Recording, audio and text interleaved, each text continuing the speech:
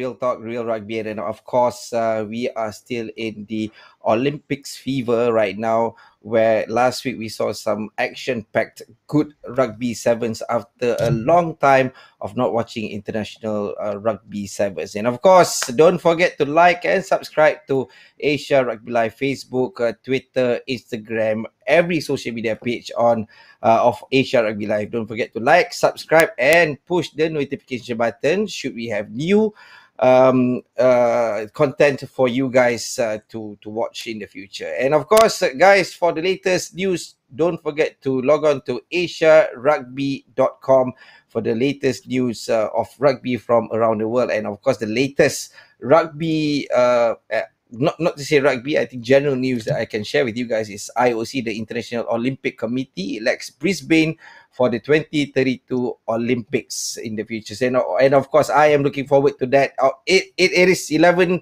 11 years to go, but then again, I think I can start uh, saving some money because Brisbane is not far away from Malaysia. It's about eight hours flight, and it is very near to one of our guests today. And of course, today we have some, I, I guess, some legendary guests on the show and we haven't had this uh, in a while so I'm, I'm quite excited to, to talk to our guests. So we have four guests today. We have four panelists to talk about the olympics. And of course it's a it's a olympics wrap up. First of all we have uh, the player who played in the olympic sevens uh, andre jin uh, who played for the korea sevens team. We have lemano lemeki who played in the rio Olympics back in 2016. He made a lot of impact, and of course, the Japan rugby team in that year made a lot of upsets, especially when they defeated the New Zealand team in the grouping stage.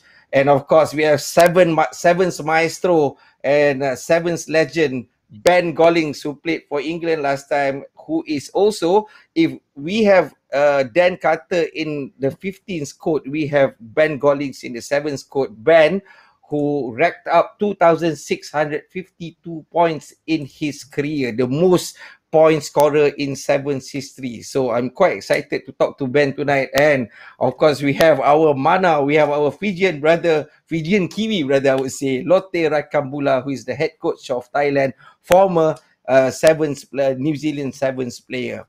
And guys, thank you very much for being here today. Okay, first of all, I want to talk to Andre uh, Andre, the, the Olympics is finally over and the results didn't translate uh, the effort that you guys put in. Uh, but what is your take from the whole tournament, Andre? Hi, yeah, uh, great to be here with with so many uh, sevens legends. Um, yeah, the Olympics for us, uh, it was a 20 month ordeal, right? So we qualified in November 2019, and it, the games actually took place in July uh, 2021. So there was a long period there where it was more taxing, I think, on the mind than it was on the body. Just just knowing that you're going to Olympics, but preparing for almost 20 months. Um, as you said, the results didn't really go our way. Uh, we were kind of expecting that, though. I mean, every athlete is going to play a game, play games to put in their be- best performance and try to win. But we knew we were outgunned. Uh, and we were outmatched and definitely the least experienced team there. But what an experience! And for us, uh, it was just a great opportunity to introduce uh, the great sport of rugby to the Korean people. A lot of Koreans don't know rugby, so what a platform to have uh, live rugby on national broadcasters home at home here in Korea. Did, did, did you have any you know Korean kids messaging you on social media after that asking uh, to you about rugby? Yeah, no, a lot of messages uh, through what we have, what we call Naver here. So it's our Google search engine, Naver, and also through Instagram. Just a lot of kids, a uh, lot of just what what you would say regular sports fans who support Team Korea, but uh, first time uh, experiencing rugby. So uh, so far the the reaction we've been back about a week now, but it's been a very good reaction, especially the media stuff. Rugby, we never get any.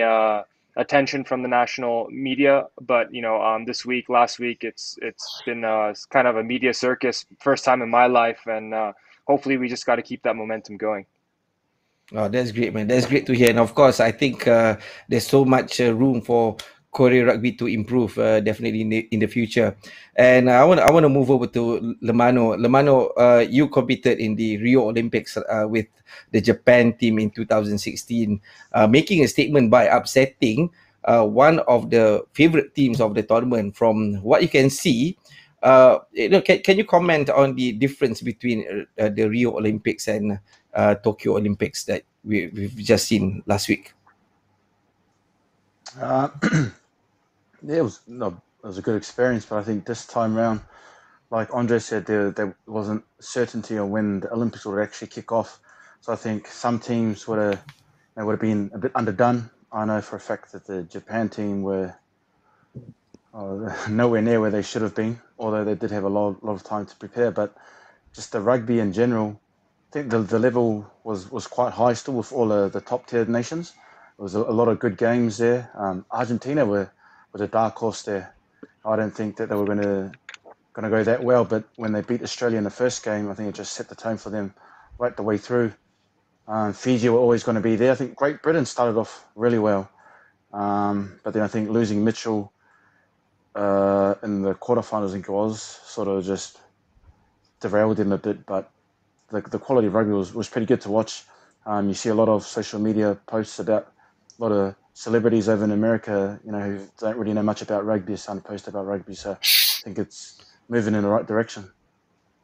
Oh, that's great to hear from from that that perspective, uh, Lomano. And, and of course, I think one of the things I would like to highlight, and I think uh, you would have made the difference if you were in the sevens team of uh, Japan. anyway, you know, moving along. Um, ben, okay. before before we before we go di- dive into uh, you know uh, the Olympics uh, sevens, I want to talk about that. Ben, can you update our our viewers what have you been up to these days? Because we haven't heard much of Ben Gollings, uh, you know, lately. yeah, I think uh, like a lot of people, um, you know, the uh, this this last this last eighteen months has been uh, an interesting one and challenging, and has been about adapting. So sadly for me, obviously, I used to travel quite a bit with with work and, and working within the rugby ranks and consulting and that kind of came to a bit of a halt with international travel. So I've been um, been doing a number of different things. I've been I've been coaching locally. Um, I've been doing a lot of work online, both uh, in the mental health space actually, and working with with with athletes of all levels, as well as then online from a coaching perspective. Um, and then I did also transition for a little while. Uh, um, completely out of sport, which which was quite nice for a little bit. I've never really had a full break out of rugby, so I I went and uh, did some finance for a while, just as a, a bit of a new challenge, um, which was which was really good fun, great experience. Definitely um, something that uh, I, I, learned a lot from, but not something I want to pursue fully. So um, I'm happy now that I'm kind of back in the back in the space I love and and um, looking to really uh, maximize on opportunities now as we hopefully start to come out of the the pandemic and the situation we're in. Uh, I never saw you as a as a finance guy, Ben. anyway, uh, you know, okay, let's dive deep. Uh, let's dive back into into you know uh, rugby, uh, Olympics rugby, and uh, of course we, we wanted. I want to touch a little bit of the China rugby team as you were a part of the coaching team last time. And did you expect them to put a on a good uh, such a good performance uh, last last weekend? Uh, in in answering that question, yes. Um, I I said it's always difficult to say yes, but I, they've always had a, a, huge amount of potential. That Chinese team, and I, when I was working with them, I could see that potential, um, and it was just a matter of uh, of spending more time with them and being able to nurture and develop that that that potent that potential in them. And I think in the last uh, period of time, they've really come together as a as a strong group of, uh, of, of, of ladies, and they've got some talented young girls and the likes of. Uh, Chen Keyi, Emily, who leads from the front, and, and the captain also. And I, they, you know, I think they, they were always worthy of causing upsets. And I think it was a, a, deserved kind of finish for them. Finish, I think it was around seventh, but uh, it was fantastic mm. to see. And you know, from an Asia rugby perspective, it's great to see them competing on that on that world stage, which I think they they looked comfortable doing. I think it's worth mentioning that Ben Gollings was the one who identified Chen Keyi and a few other players that is in the China women's rugby team now. So yeah, hey, credits to you. I think credits has uh, has to uh, be given to you, Ben, for for identifying such good players for the Chinese rugby team.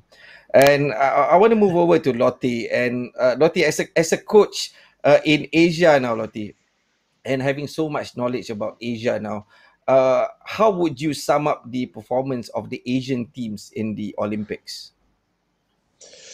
Well, uh, sorry, Cup guys. Uh, thanks for having me uh, uh on the show. Uh, and uh, good day, gentlemen. Good to see you boys back. yeah, no, for me, as we talked about it um, last week, I think Japan probably the you know the most disappointing one out of all of them. and and that's not only the the men's team, also the women's team. Uh, I think they, you know, they they were going in as uh, you know a, top performer than than the Chinese team, but. Uh, I think uh, you know there's a few issues going on in there, so uh, you know they'll be disappointed with it. Uh, and like Andre was saying, you know Korea, you know I, I I thought they did well, and as a game progresses, they they tend to you know step up another notch and goes with uh, you know a bit of experience and a bit of belief, and it, it was so good to see. You know they, they tend to step up. Uh, uh, you know Japan, uh, the men's team, uh, massively disappointed, but I think they they, they know that now. Uh, they know that now, and and I think like uh, Mickey was talking about it last week. I think the whole thing, uh, you know, need uh, restructured and things like that uh, in their system. But but for us, uh, you know, in terms of rugby, uh, out this part of the world, I think you know we it was quite pleasing to see just after the the World Cup 15s, you know, the rugby starting to fade off, and it was so good to see rugby sevens, you know, and and how mm. good the the games is. You know, it puts rugby back up again, you know, up there with uh, with other sports, you know, with footballs and stuff, you know, around this part of the world. So really, really good to see uh, rugby in the in the level of competition in uh, in the Olympics. Yeah, for sure, man. I was I was excited to see the, the games, men's and women's. In fact, to be honest, I thought the women's uh, competition was really really exciting. Uh, first time watching, uh, my heart almost stopped when uh, New Zealand was going against Fiji in the semis. watching women's rugby, first time I ever. Bet you, anyway, I bet you were cheering for Fiji, were you? Eh? come on, bro, come on, you know. anyway, uh, you know, since since uh since Lote was touching about Japan's uh, Japan rugby team, probably uh, Lomano, you can comment a little bit uh, when you know J- the, the Japan men's team, which you were in Mano in 2016, had such a good outing uh, uh, and, and performance in the Rio Olympics. Uh, but the results were were not on their side this time around. Do you think the team was mm. under pressure to emulate the 2016 results?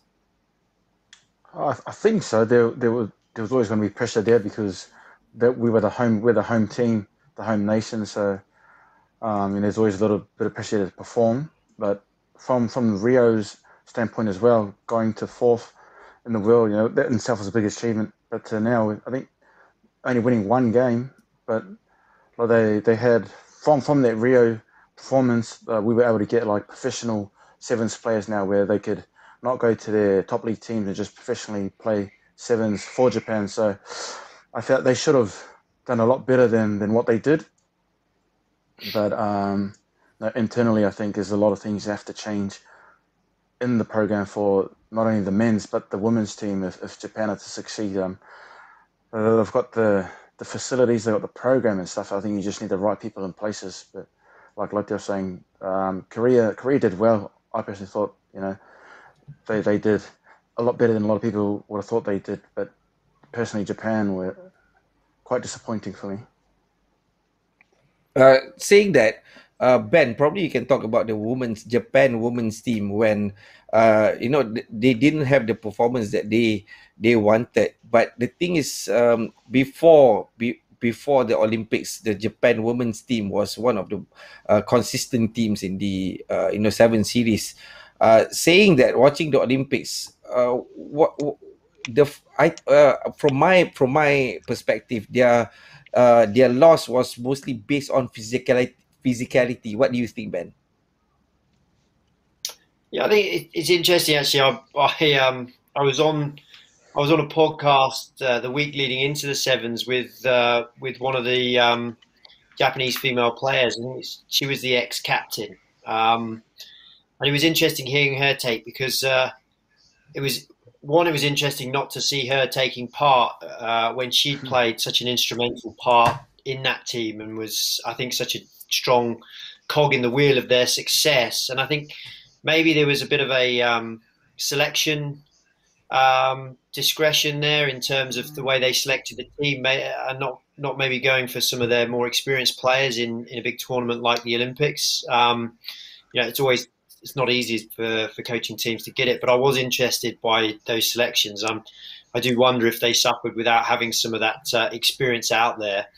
And then I think it was always going to be the case that um, they're they're very strong in the Asian competition, but when it comes up against a lot of the other teams, there's there is a there is a distinct uh, physical difference, and it's not that they can't compete, but if they have the kind of year that a lot of people had, where they've they've lacked in the ability to play a lot of game time and and have that consistent hit out against those those bigger, more physical teams, it's hard to emulate it in your own training. And I think they probably got caught off guard a little bit there. And you know, it was always going to be a big call for them, but um, I think we, we, we, we didn't see the uh, the true strength of what they have uh, they have shown in the past. Yeah, for sure. I I, I think so too. They uh, they they had so much potential, and, and I thought the Japan women's team would uh, you know explode in this uh, the recent Olympics, but uh, that didn't materialize. Anyway, I think uh, I, I want to move back to uh, Andre. And Andre, you you were competing with some of the best teams uh, in in the world, especially in your pool with uh, New Zealand, Argentina, and Australia. Looking back, you reckon the team had a val- valuable experience uh, facing some of the best teams that you guys had? Yeah, you know, we were in the pool of death, and if we're included as the weakest team, and that's the pool of death, that just goes to show the strength of the other three teams in our pool. So when the pools were announced, uh, you know, we're there to play the best, anyways. But uh, yeah, definitely a tough pool. Um, yeah, I mean, we don't have. I think the stat came out. We have played three World Series level events in five years, whereas each team that has played in that comp would have been in ten tournaments a year. So I think that huge wealth, uh, that gap in just experience and know-how at that level definitely showed. Um, we the last World Series event we played was March 2020. Then obviously the COVID situation happened. We were able to play one warm-up tournament in LA against Argentina, the US, and, and GB, and that was a bit of a wake-up call for us. But uh, you know, when when you go 17 months without competition, I think Ben just alluded to it. Like we don't have a, a big depth, uh, a player, a big player pool in Korea, so we weren't able to go 100% against each other because we it was half trying to get conditioned for the Olympics, half trying to uh, limit the amount of injuries, and we only had one tournament or six games uh, in 17 months before the biggest uh, tournament in in, the, in our lives. So um, definitely difficult getting ready for it, but you know, again, uh, no excuse for for missing that many tackles. I think, yeah. Mm-hmm. But I think I, I think overall, uh, your the the performance of the Korean team didn't translate uh, with the effort that you guys put in. But uh, and I think good effort, uh, because this is your first uh, Olympics. Uh, for the Korean team, so I think uh, that you should give yourself a pat on the back, uh, Andre, and not feeling uh, any guilt of, uh, you know, uh, mis tackling any players in, in, especially in the Olympics, obviously. And uh, Lotte, um, looking at the future, what do you think Korea need to work on to compete against uh, the other teams in the Olympics? Oh, uh, you know, Andre pretty much uh, nailed it. You know, it's game time, uh, and that's a saying that we know back home. You know, to be good at sevens, you've got to be playing playing sevens. So, you know, and that uh, as as an example, you know, we can see. I know there's a lot of people that really looked at the Olympic as wow, you know, the, the one just finished last week and looked mm. at the mm. games and going, wow. But to be honest, you know, to be honest, I think because of the score and some of the uh, the minor teams really put a fight, like Argentina as an example. But to be honest, you know, if I if we if we looked at it properly, I think the level, you know, with the with the top the top teams, their level dropped a bit because they are used. So we they're going into the Olympics without World Series tournament. So if you see the previous uh, big events like the World Cup uh, in 2000 and uh, I think must have been 17, or the Commonwealth Games, or you know those those big events, those teams were really prime and and had a you know the coaches can really move their combination. You know what suited for that big event. So this one here, everyone was underdone, and and I bet it was stressful for the coaches to pick a right combination. So, you know, so the, you know, it, it is it is good to see a lot of people are excited about the the the, the sevens uh, tournament last week at the Olympics. But to be honest, they haven't seen the they haven't seen the real the real sevens. And I'm talking about you know going back to correct to answer the question is is the continuity. You know, it's very surprisingly the tournament last week. Uh, you know, a lot of which is which is really uh, different, you know, to to actually you know build pressure and retain those ball. You know, it was so surprisingly less teams were able to do that. You can see the counter-rucking and defense Mm. were coming through and changing the game. So that comes with game time. So all these teams were not playing in the series to, to build that momentum and and go into this this Olympics. So that's for me was one of the big things. So if Korea, you know, to, to get on, you know, and, and perform at that level, it's about holding that ball and you know, and, and, and it sounds so simple, but there's a lot, you know, to take in technical work, mindset. So those things come with game time. So you know, that, that would be my thing, my take for for Korea. You know, so more games, the better.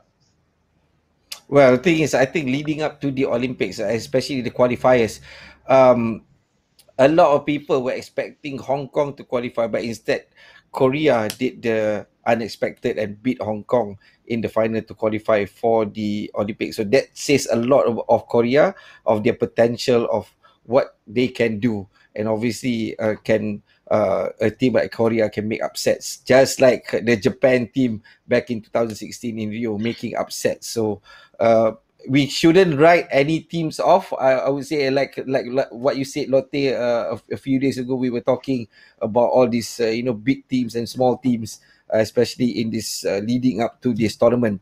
And uh, Ben, I think I wanna I wanna shift over to to China. And, and of course, Ben, we saw a totally different China rugby team in the Olympics. And of course, credits to the head coach of China, Ewan McIntosh and the coaching team. From what you saw last time, what changed? Style of play, size? What, what can you comment on that? I, I think um, with, with the Chinese, it, it was a matter of being able to, uh, something I experienced is connect the right girls together. And I think through this last period and, and the growth of the Chinese team has been seeing that um, ability to to want to work together for that that bigger picture. You know, in China, there's quite a big stake for the for the for the for the girls and the and the boys to perform for their provinces because of the um, because of the enormity of the Asia Games. And I think, you know, I, I, what I see here is this this this this team has really come together and connected uh, for the for the for the cause of the Olympics. And you, you've seen the combinations they put together were fantastic. And and I think they've also just matured as a group. They were quite young when I was there. You know, a lot of these a lot of these girls, and but now they're four years, five years, a bit older with a li- little bit more rugby knowledge and experience. And I think you're seeing all of that come together. And um, Ewan's done a good job of, of nurturing that with this with this group of girls and, and getting them performing. Um, knowing knowing full well that they always they always had that that potential and, and they looked uh, they looked like they really wanted to be out there and, fighting and, and, enjoying the experience. And I think the, the fantastic thing is that knowing what type of a country China is in terms of how seriously they take their Olympic sports, them making the Olympics and then performing as well as they have will, will have a really positive effect on, on, on the growth of rugby, I'm sure, as as similar as what we've seen with, with Andre and, and Korea. Well, saying that when you when when you mention potential, so what do you reckon is the potential for the China rugby teams in the next Olympics? Oh, I think if, if the if the Chinese keep developing and they create a a really strong program and pathway that, that leads to that kind of pinnacle with the Olympics, they've got every opportunity to keep building from strength to strength. They've got an abundance of quality athletes. It's about again being able to give them the tools to perform consistently at that level. And I think if they if they do get that recipe right, you, you you'll see them become quite strong. Uh, not just on the Asia series, but hopefully on the World Series. But I, I, think that's the same for, for a lot of the Asia teams. They're, you know, this Olympics has been what four teams competing in the Olympics from Asia. Pretty fa- pretty fantastic, and um, you know, it'd be great to see that happen again in, in the next Olympics. And you know, every team has got the ability to to keep growing and developing with the with the with the with the type of athletes they have. So you know, I think from that perspective, we'll we'll see we'll see some other great performances ahead. Well, for sure. Amen to that. Amen to that. And and and uh, I, w- I want to move over to Lomano. Uh, how do you think the team's performance uh, will impact the overall interest towards rugby? As you are uh, a social media user, and and what, what do you think of the the the the performance of all the Asian teams, especially, will impact overall interest towards rugby? Oh, this time was only I was only had two in the women's and two in the men's. So I think the more exposure we can get for Asia rugby, maybe more like a, a World Series, get more of the Asia teams into the World Series, and would only make rugby bigger for Asia. But as you see all over the world, um, rugby's starting to, to get noticed pretty big, even with America and the, the Major League Rugby. I think it's only a matter of time. But um, to get people interested into rugby, I think sevens is the pathway for that. Uh, not a lot of people know all the technical rules and don't want to watch 80 minutes of scrumming and mauling the whole time. It just puts you to sleep. So I think if we can get more sevens tournaments and more people watching and following sevens, uh, maybe get more Asia um, legs to, to the tournaments, you know, that would be good because Sri Lanka also another very good team.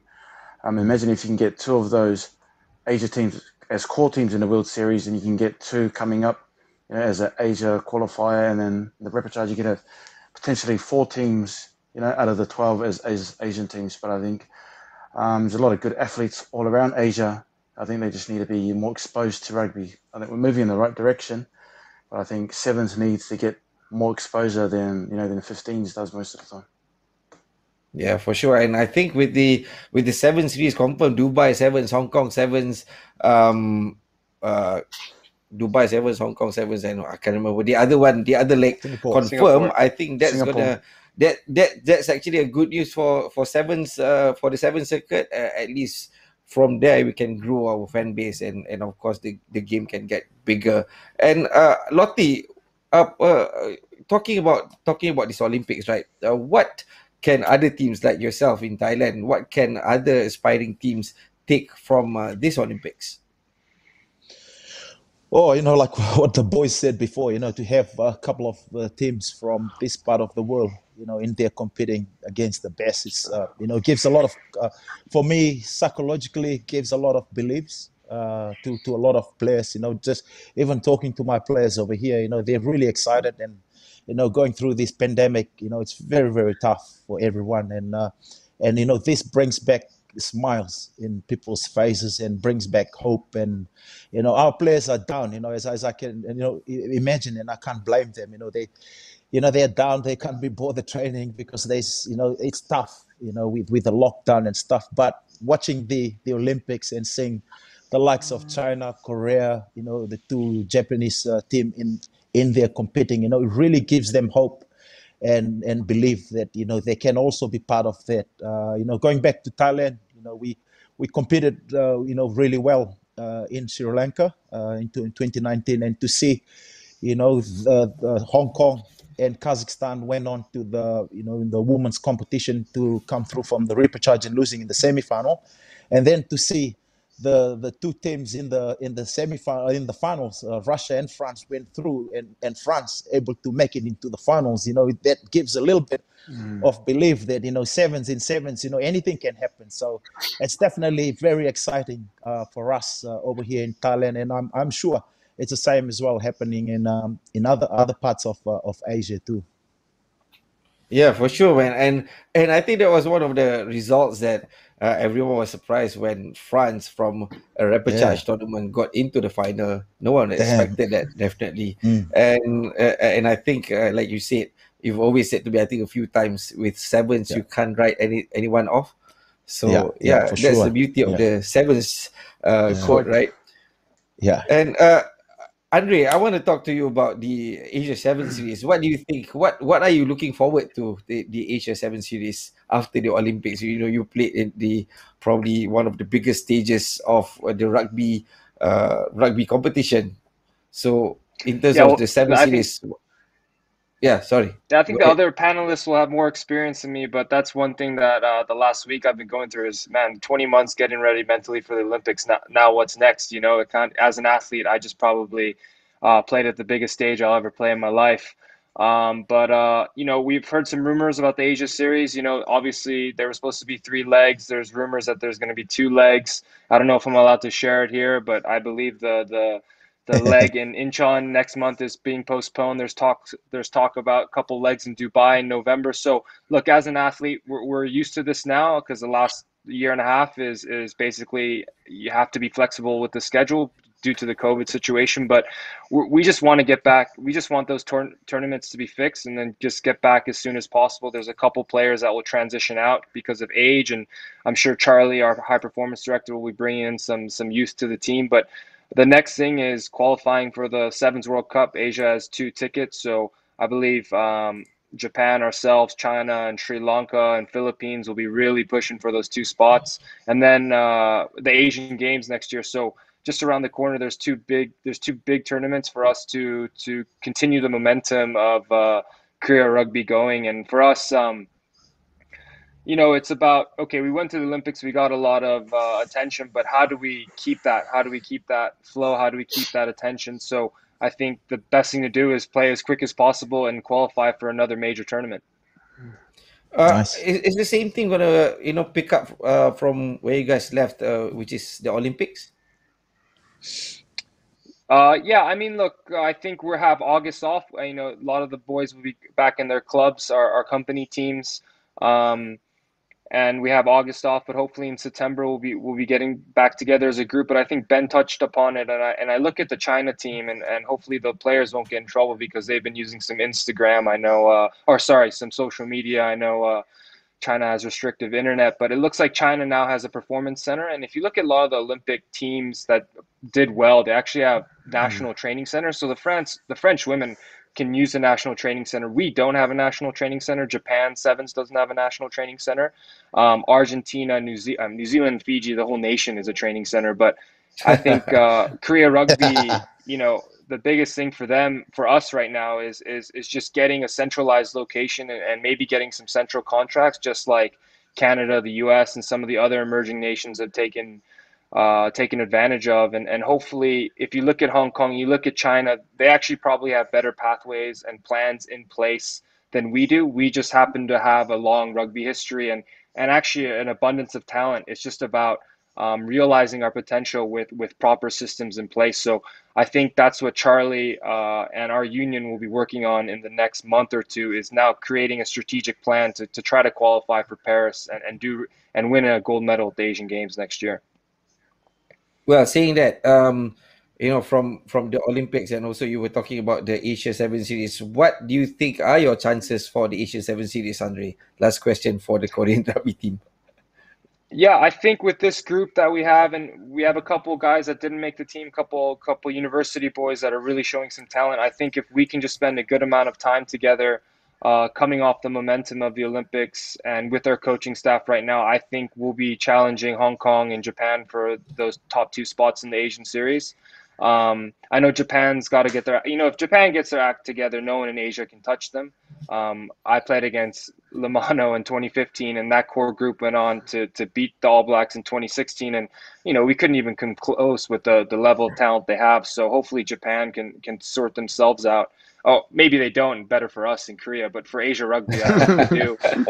Um, but uh, I think you know us in Hong Kong might be push, and China and Sri Lanka will be pushing for that second spot in uh, to qualify for the World Cup through the Asia Series, and then for us, you know, the the Olympics was was kind of the goal was just a coming out party for to introduce rugby to Koreans, but the real goal for us in camp is actually the gold medal at the Asian Games, and I think with this group and with this coaching staff. Uh, if we just have enough time together and enough tournaments together, just like Lote said, um, I think there's a real good chance that we could uh, be challenging for that gold medal in, in Hangzhou in 2022. Yeah, I agree with you. Lomano is untouchable. I'm sure you had a you you had the worst time defending against him, right? anyway, okay, we have some we have some Facebook questions from our from our view, viewers. Let's see who what are the questions. I think I heard the, the president is asking a question. Oh, there you go. Okay, confirmation two legs for Asia Rugby Sevens will both be held in Dubai in November. Asia Rugby Seven Series this year is the pathway for Rugby World Cup 2022 Sevens in South Korea. So please check the calendar on www.asiarugby.com. Thank you very much, Mr. President. Guys, Abdullah Al there you go. Straight from the president. Um, There you go. I think this is to Andre. So Andre, take note. Yeah, this is the tournament that's happening. so two men slots and two women slots for uh, Rugby World Cup 2022. Of course, this is the Rugby World Cup uh, Sevens 2022, and all the best uh, to the top eight Asian teams in November 2021 to clinch the slots. There you go, straight from the president's uh, comment, not mouth comment. Okay, some more. We have some more. Asia Rugby is working closely again. The president Asia Rugby is working closely with World Rugby to award wildcards to Asian teams at the HSBC World Seven Series, especially the three legs held in Asia, UAE, Hong Kong, and Singapore. Oh yeah, Singapore Sevens. Yeah, Singapore Sevens is the other tournament that is confirmed. Oh, And what else? Okay, so now with all that, with all that, uh, uh, okay, let's go to let's go to Lomano. So, what do you think with all uh, whatever the president said just now? All the uh, competition confirmed. So, do you think this will um, be a, a good stage for Asia Rugby to showcase their talents and, of course, develop talents for rugby sevens? Yeah, it definitely is. If if they if they can bring that in, not only the two slots but the wild cards and stuff. But I think just having two tournaments, two Asia League tournaments is you know exactly what we don't want. Um, I know the pandemic and stuff. Like we're gonna need a lot more game time, like Lote was saying, for for all any of the Asia teams to get better. You know, you can't just train all the time and improve from there. You got to play consistently. So, got to find out a way to get more Asia League series maybe. Um, six, I think six minimum would probably help bring up the rugby a bit. But you know, um, being able to compete in the World Series is probably the number one priority because, like Ben Ben knows and, and he was saying, you could play good in Asia, but once you go into that World Series, like the physicality and the speed is just a different ball game, and, and you tend to get shocked like that. So, I think maybe just more more game time, more tournaments, more opportunities for Asia teams to play. Well, saying that, saying, uh, you know, if, if you talk about potential and stuff, Ben, uh, the first time we met was in 2012, but that was in Kota Kinabalu in Sabah for the Asian Seven Series. You were coaching Sri Lanka back then. So, of course, it's been a long time. That was, a, I think that was the first time that you coach a, an Asian team. And of course, after that, you've coached a few teams like the China rugby team and stuff. So, saying that, how do you see the potential of Asia rugby as a whole? I, having spent a lot of time in Asia, um, I think there's, as I said to earlier, there's a huge amount of potential. Um, there's a lot of untapped potential, and there's a lot of potential that probably doesn't realise its potential that really needs to be unearthed. But ultimately, saying you know, there's there's a lot of good happening in Asia rugby, and there's a lot of there's a lot of uh, great people behind a lot of the places that are developing rugby and I think there's a lot of great infrastructure within the rugby in order to allow it to really develop. And it's been placed on a world stage now. The last few times we had the World Cup 15s, we've now had the Olympics. I think really now's the time to use that as a catalyst to to de- develop it even further. And as everybody's touched on here, I think one of the big points is that in order to really start to meet that potential, there has to be um, competition, and I think that means more competition within the Asia nations themselves. But I also think they'll really benefit from playing externally against better teams, and it, it really doesn't matter about the winning and the losing at this stage. The more they play high level teams, the more they're going to get used to it, and it's actually going to raise their game so that they'll become more and more competitive because you can train and train and train, but the ability to be able to experience that, something that Andre could probably take away now from having experienced the Olympics playing against these top teams, you can start to draw on that and realize, okay, this is where we need to take our game to the next level. We've experienced it, we understand it now, we can. And it's very hard to do so unless you play those games. So yeah, I think there's huge amounts of potential, and I think we're going to, uh, you know, I, be, I really believe we'll see Asia Rugby grow and, and grow, and in doing so, we'll see them competing as, as long as they're able to create more competition and, and, play a lot of the harder teams. Oh, thanks for that, Ben. And of course, I think I agree with you. There's a lot of potential for Asia, as Asia is a huge uh, continent, right? And I, I think we, we, we can take one question from uh from the audience, and I think this this uh I want to give this question to Lote. Uh, is there any chance for Japan or Korea to get gold to get the gold medal uh, in the sevens uh, rugby for the next Olympics? What do you think, Lote? Oh, sure. You know, anything is possible in in sevens, and uh, you know, and I look at uh, you know, like uh, just the last weekend. You know, you can see Argentina. You know, look at look at those boys. You know, they're very very young side, and you know, I think they they've only played three four tournaments. You know, in in in the top level, like in the World Series. So, you know, you, you can see. You know, those those those boys. You know, they really put some beliefs, you know, in in like uh, the minnow teams. You know, you can anything can happen. So definitely, and, and like the boys talked about, you know, especially this part of the world, you know, sevens rugby really suited. You know, the the way, you know, the the, boys uh, and the girls, the you know, the the people that are built around here, you know, very quick and nippy. So. You know, definitely, Mm. but I think it comes back to the like uh, you know the boys mentioned it. It comes back to the structure, and it comes back to you know everything like from the bottom grassroots rugby and build it all the way up you know you can't just you can't just focus on on the top top uh, top uh, level you know so you got to start from the bottom so definitely they can you know anyone can can can can make it to that you know to that level it's just you know comes back to that development and putting you know putting the effort into where it's supposed to go So, what do you think, Andre? Do you think you can win the gold medal in the next Olympics? I think we're gonna set a more realistic goal of trying to qualify for the next Olympics, but um, uh, I think the next one is going to be a bit difficult. But hopefully, this was a springboard, and and I think I I, I told one of the reporters after the game if a thousand kids pick up a rugby ball after seeing Korea rugby on TV, maybe in about 15 to 20 years uh, time when these young boys are put in a proper uh, use systems, proper pathways, and, and we create a high performance program, I couldn't see why in about you know three or four Olympics from now we could compete for a, a podium spot. Just like Lote said, we have so many nippy, light footed players here in Korea that can step you out of a phone booth. It's just about um, getting them together and teaching them our great sport. You are so charismatic, my friend, and I hope, I hope, uh, one day, someday, Korea will get to uh, where you were saying just now. You know, to to get where they want to probably be up there together Olympiad. with the tier one nations. Anyway, guys, thank you very much, uh, Andre, Lemano, Ben, Lotte. You guys have been great. Your your insights, your knowledge, your experience, and of course, uh, talking, looking back at the Rio Olympics and looking back uh, uh, at Ben's experience together with Lote. Last time they used to go out together after each tournament. anyway, guys, enemies guys on the field but you know love each other off the field bro